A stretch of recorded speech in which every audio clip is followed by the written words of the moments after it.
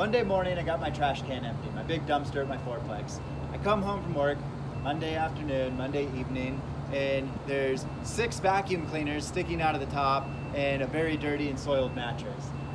How do I keep people from dumping in my dumpster? It's costing me a fortune.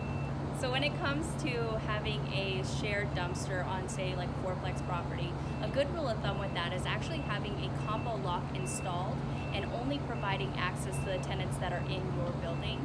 That way you can avoid getting those neighbors down the street throwing throwing loads into your dumpster and costing you money.